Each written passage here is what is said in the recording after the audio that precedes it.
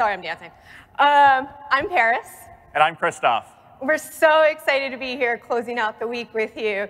We're going to be talking about Kubernetes sustainability through our lens. It's been a long, fun, intense week already. Insert your adjective here. But we've made it through together. There's still more to do. And everybody's been super kind in the process. I really wanted to kick it off with some personal journeys of ours. So first, mine. When I started on the project four years ago, a little more than four years ago now, I already felt like what would be labeled as the project's next generation, if you will. At the time, Kubernetes was a year and a half old, about 8,000 contributors, dozens of contributing companies already. Questions like, how do we sustain after growth? Were already being asked. Intentional sustainability efforts were already happening. I grew under Sarah Novotny, our first community architect, who once told me, the belonging is high with this group. Indeed, I found out it is. I put my work in with upstream governance operations and community at the start, and it was noticed. A few months in, I was in a contributor experience special interest group meeting, hanging with my usual suspects, giving my usual updates, and Aaron Crickenberger told the group that he'd like to nominate me to lead it. I'm not gonna get sad. And I was so taken back that someone not only saw me, but thought that I could be a leader in an open source community as monumental as Kubernetes. And then Garrett, Elsie, George, and this guy right here sponsored me to lead this group. And together we worked on initiatives that led Kubernetes from, from 8,000 contributors to 60,000 that we have today.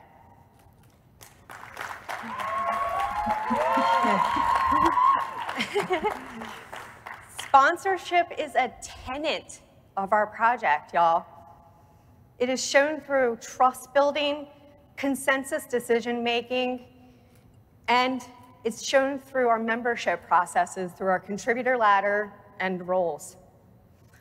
As a woman in this industry, I can't tell you how critical sponsorship is. A plus one can go so far, open doors that one can't imagine. I definitely didn't see this one coming, y'all. Our values and tenets like this will sustain us into the future so long as we have folks showing up to participate. I had a similar sense of how tight-knit this group was when I started getting involved back in 2016. I was working for Disney at the time on a project to adopt Kubernetes in our organization. We were fairly early in the adoption cycle, and of course ran into bugs or underdocumented features. And when I did, I'd go and read the code and documentation and propose a fix. It started with things that were directly related to my day job, but I got hooked and found myself continuing to contribute my off hours. I found myself not only fixing issues with the Kubernetes code itself, but also the process of contributing. That's how I got involved in the contributor experience SIG and met folks like Paris. As I continued to work in the community, I too started being recognized for my efforts.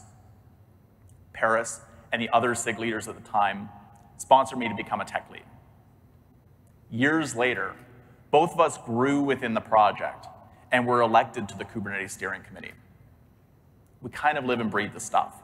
And that's why it's so important for us to talk about holding the door open for the folks who are coming in after us. One of the other early areas I got involved in was our test infrastructure. We as a project had to make significant intentional investment in our automation, testing, and tooling in order to scale. We needed to be able to delegate abilities like running tests, merging code, and even adding folks to our GitHub org.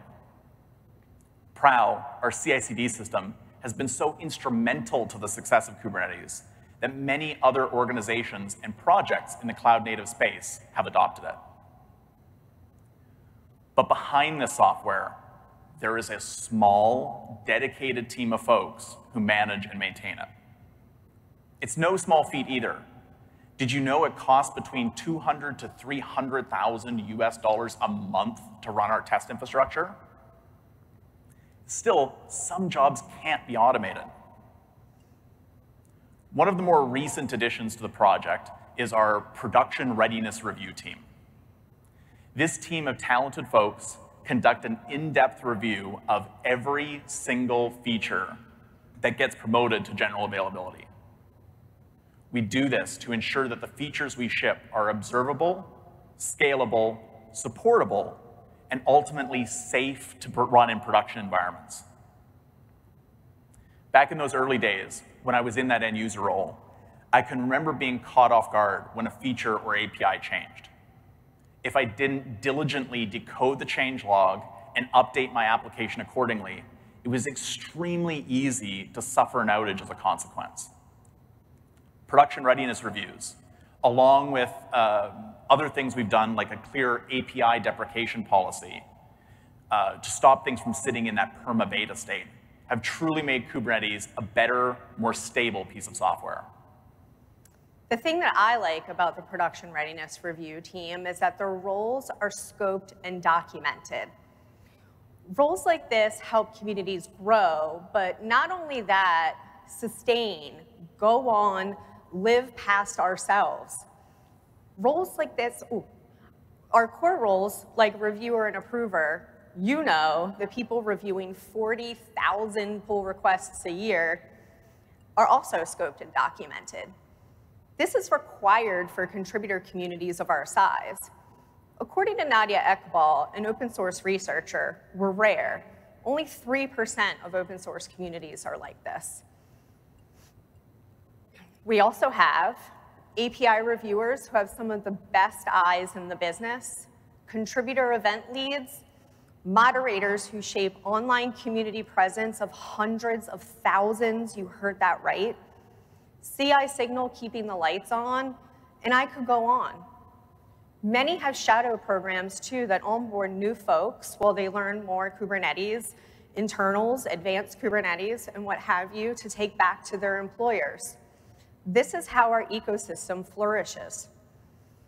Folks like Elana in production readiness and Node CI approver, Arnaud in newly minted SIG infra, Veronica as release manager, 40 new SIG chairs, tech leads, committee members, and more in this year alone, they are our next generation. Did you know that the release team has had over 300 people come through its shadow program in this last several years? That is the world's, one of the world's largest open source release processes. All of these folks are volunteers too especially the mentors. And guess what? Many aren't paid to do this. Frankly, depending on the role that you have in the project, some of this stuff could feel like two, maybe even three jobs. And speaking of release, it's clear by now how many companies contribute to this project that there's real business value here, especially through enhancements. It's so much easier to tie a feature to a business goal. Are you adding a feature upstream because it's useful for others and you don't want to carry a messy patch? Great goal. What about the engineer on your team who wants to write automation to manage our Slack community of 130,000, which has no direct ties to your revenue?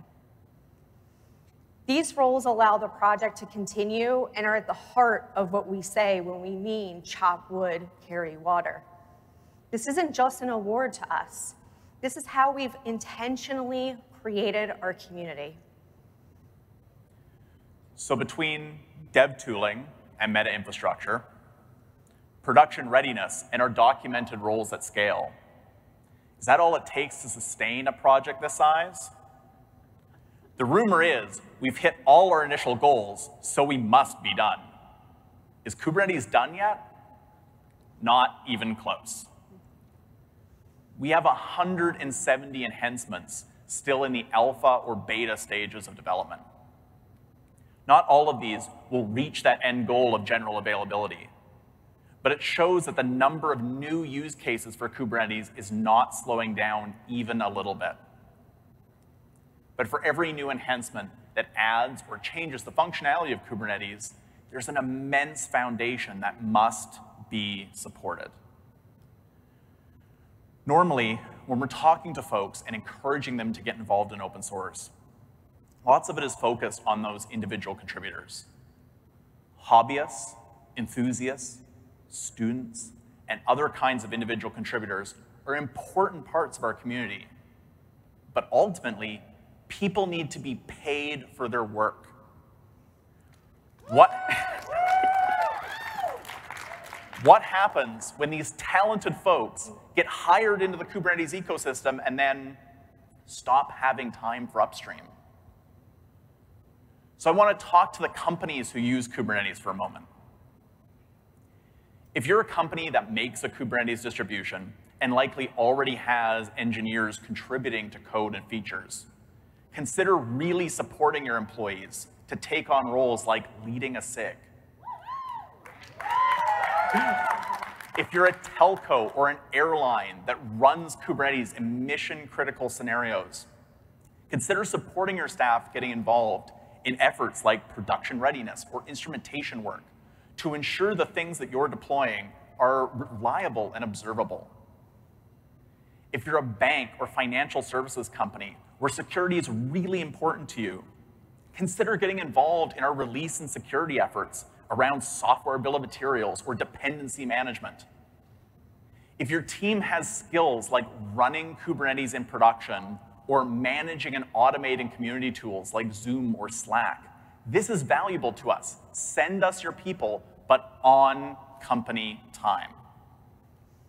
Digging in and helping with help wanted issues is still a very important piece to contributing here and building trust. But we need deeper than that at this stage, y'all. We need companies to collaborate with us to incentivize and support reviewers, approvers, plus Chopwood carry water roles. Find the balance between your new enhancement with the work that needs to be done to increase our sustainability as both a technology and a community. We know promotions are tied to enhancements, but is it a norm yet for companies to promote because of a critical refactor to an open source project? Misaligned incentives is how we get to burnout, contributors leaving the project, employee turnover in order to get more support, promoted, paid, whatever. Many of you justify your KubeCon expenses for recruiting talent if you want to be competitive, start with upstream support and incentives. Remember, the belonging is high in this group. We have huge goals that require focus to help keep this shit, the ship,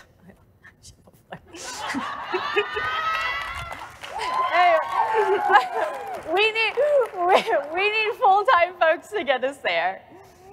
Are you a manager out there with a contributor or maintainer under you? Ask them what they're doing with their upstream adventures and if they feel supported. But most importantly, do they feel supported enough to grow people behind them? Remember, sponsorship is how Christoph and I got here.